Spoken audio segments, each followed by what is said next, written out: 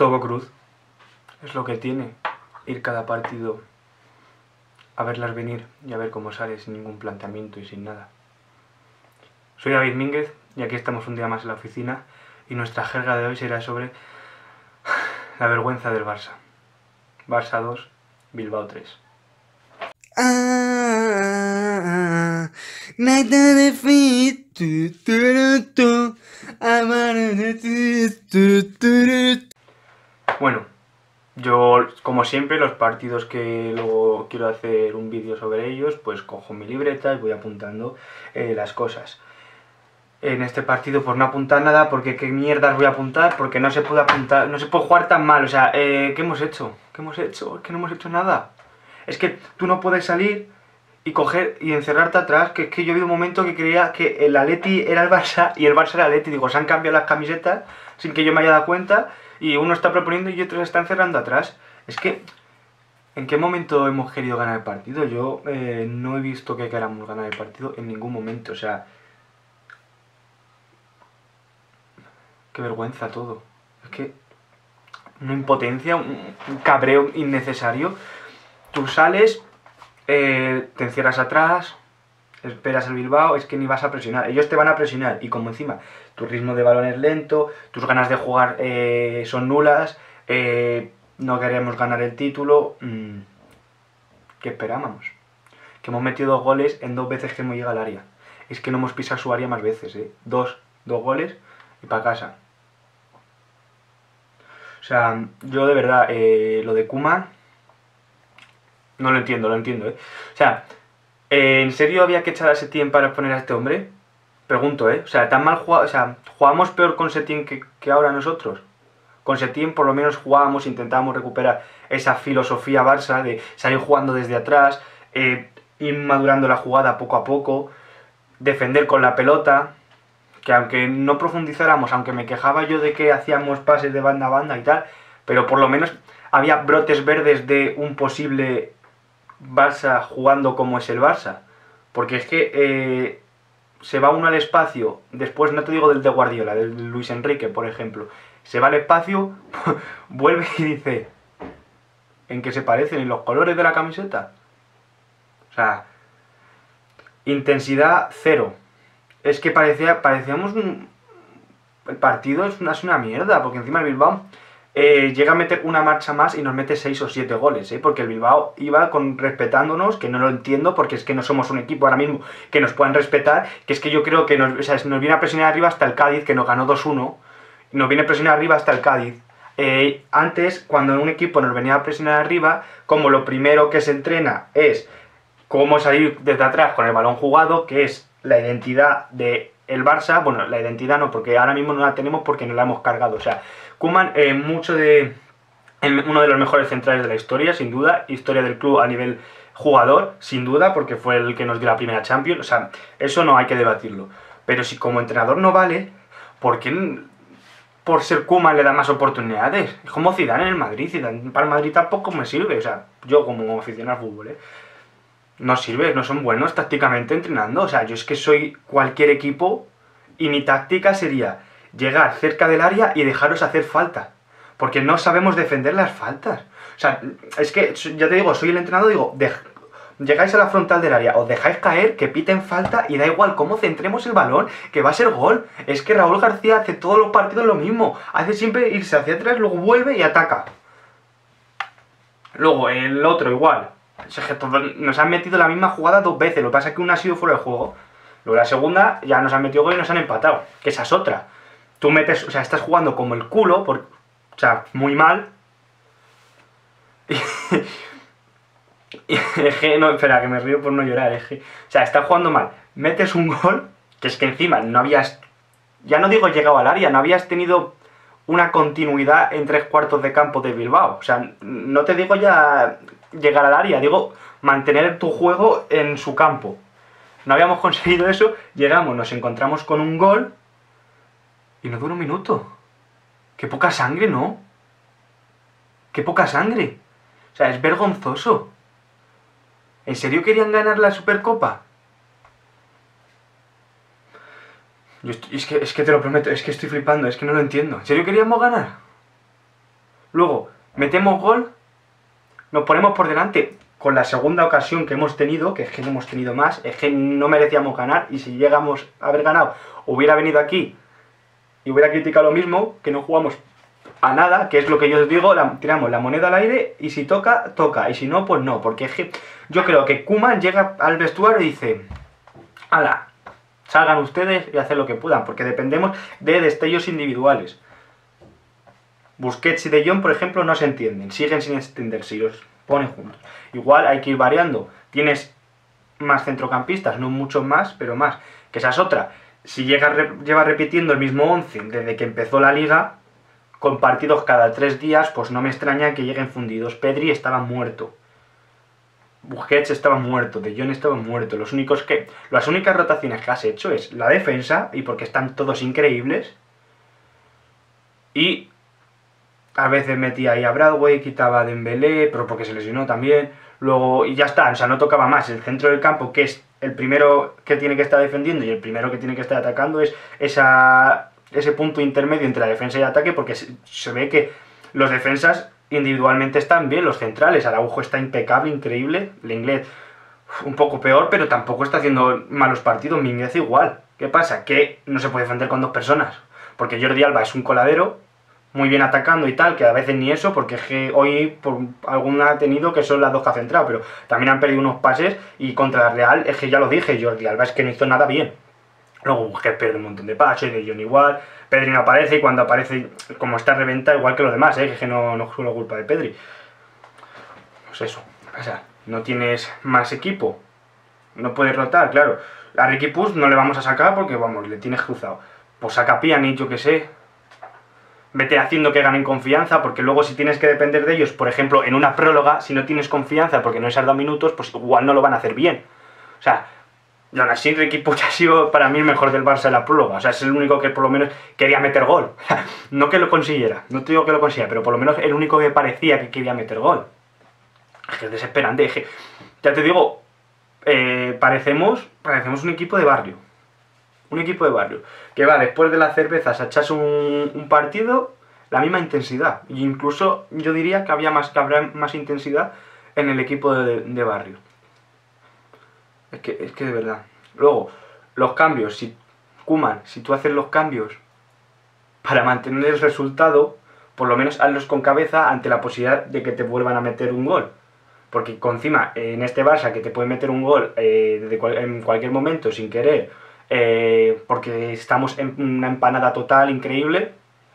O sea, en serio, si tú querías perder el tiempo, que, que, somos un equipo pequeño, porque que estábamos defendiendo todo el partido y que encima eh, hacemos acciones de eh, perder el tiempo para ganar el partido siendo nosotros el Barça, digo yo, que tampoco soy aquí el dios del fútbol y el que más sabe. Pero tú estás en el 85, creo que era, y vas ganando 2-1, has quitado a Dembélé y has quitado a, a Pedri para meter a Pjanic y a Bradway Claro, eh, han tardado hora y media en cambiarse, eh, en hacer los cambios y tal, pero ¿no era mejor dejar arriba a Messi solo, o a Griezmann solo, o a Dembélé, uno de los tres ahí en la punta por si pilla alguna, y sacar a Pjanic y a Ricky Puig y tener cinco centrocampistas?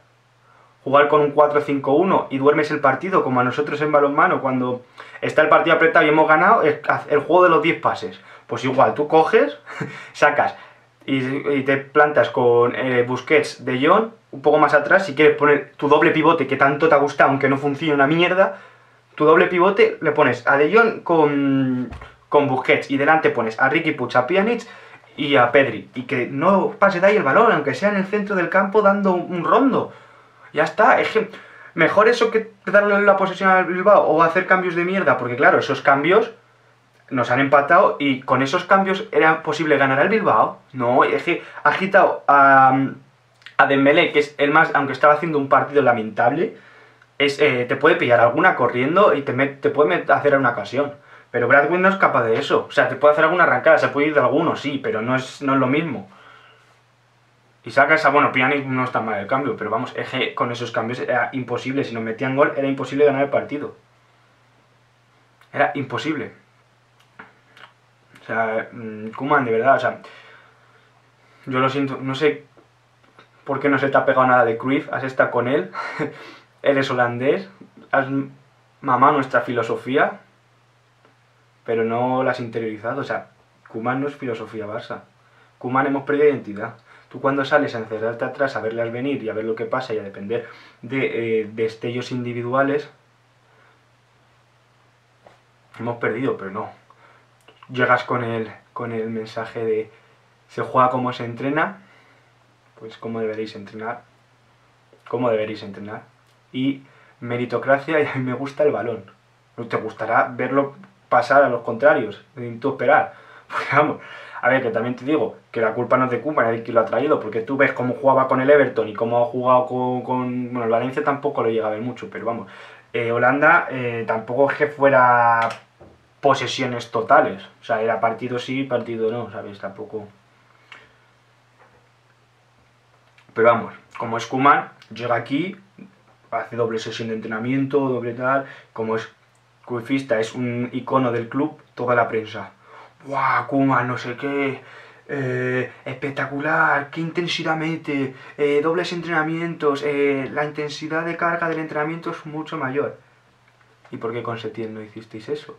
Llegó Setién, quiso cambiar el sistema, poner defensa de tres, que de hecho Kuman lo ha usado, con Kuman no pasa nada, pero llega, vamos a jugar con defensa de 3 y dobles entrenamientos. Y le dice Bartomeu, y los jugadores, peínate. El abuelo, ¿cómo le llamaban? ¿Abuelo Cebolleta? O sí, el abuelo Cebolleta, ¿qué hace el abuelo Cebolleta aquí?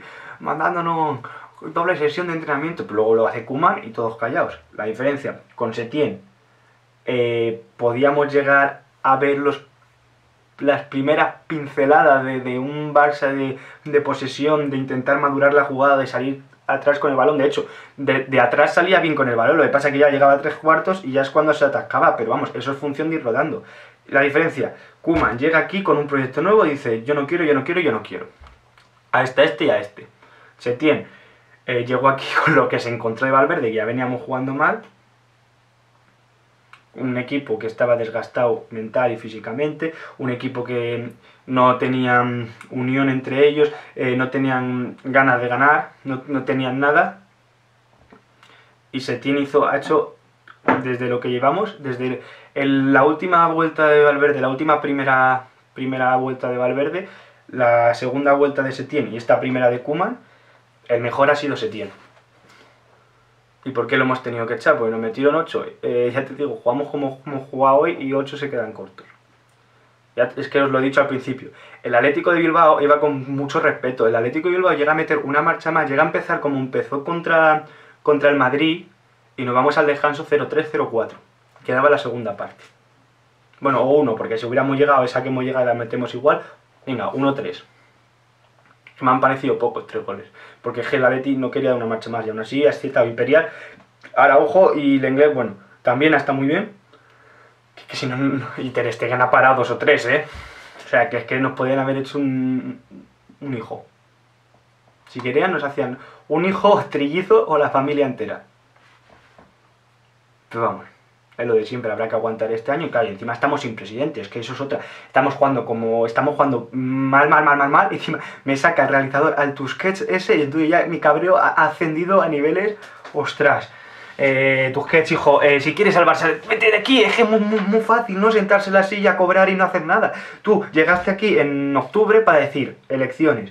No, pero como yo quiero cobrar, yo quiero ser el, el poder del Barça, quiero hacerme con el Barça que nos lo has secuestrado, quiero hacerme con el Barça, yo aquí voy a mandar, ya ves tú. Y se centra en el fichaje de Eric García, que es lo único que tenemos bien, que lo central está bien, pero pasa que si el resto del equipo es una mierda y no defendemos en bloque y no hacemos nada y no tenemos un sistema ni defensivo ni ofensivo y no hacemos bien las transiciones y no hacemos nada bien tácticamente, la culpa no es de un central. No te vayas a por Eric García, céntrate en que haya un presidente, un cabecilla, alguien que pueda decir, oye, espabilar, chavales, que baje al vestuario y diga, eh, ¿qué pasa? ¿Estamos todos todos o qué? No... Eh, como sigamos así, no pasamos ni a Europa League, que viene el Bilbao, viene el Villarreal, está el Sevilla por ahí también. La Real, eh, espérate que lleguemos a, no te digo pasar a clasificarnos para Champions, que ya lo veo complicado, te digo Europa League, te digo Europa League, con este nivel, jugando así, no nos llega para Europa League, y esa es otra, encima tenemos ahora un, calendario complicado y Messi está sancionado porque han echado roja, que O sea, lo entiendo, pero no lo comparto. O sea, yo si fuera Messi seguramente también eh, hubiera... Se me hubiera pirado la cabeza, porque entre que te están dando de hostias todo el partido y que tú miras y dices, es que eh, a quién se la paso, que es que la va a perder. Es que yo creo que hemos dado más pases jugador del Barça, jugador del Bilbao, que jugador del Barça, jugador del Barça. Es que yo he gritado eh, 20 veces, más de 20 veces durante el partido, decir que somos los azulgrana, que los, eh, los de rojo y blanco son los del otro equipo. Es que parecíamos que íbamos con ellos. Hostias, tío, es que es alucinante. Es alucinante, tío. Luego encima se le va, que, que, que no se puede hacer eso, tío, Messi. Se le va la cabeza y le da mete un collejón tú al, al, al Villalibre este, que, que, que también tiene una cosa, el Bilbao se mereció ganar, pero en los últimos minutos eh, yo creo que miraba así con los ojos entrecerrados y era el Getafe de Bordalás, eh. una, una, guarrería que es que era innecesaria, es que nada que hubieran defendido como el resto del partido, sin faltas, golpes feos y tal, o sea, para mí hubiera sido todavía más digna la victoria. Pero es que no puedes hacer eso. Para mí han, ha manchado un poco lo que es la victoria. Los equipos de Marcelino encima no, no destacan por ser tan guarros, no ser antifútbol. Pero los últimos minutos, sobre todo la segunda parte de la prórroga, que parecía el Getafe Bordalas. Bueno, ya está, está aquí, es que me estoy cabreando. Es que me estoy cabreando, ya está. Eh, que gracias por, por el vídeo. Eh, ya sabéis que en esta casa de locos siempre voy a ocupar un loco más. Dale a like, eh, suscríbete y ponme los comentarios, contenido que quieras que meta en los demás vídeos. ¡Hala! Os quiero. Hasta luego. Ay, de verdad.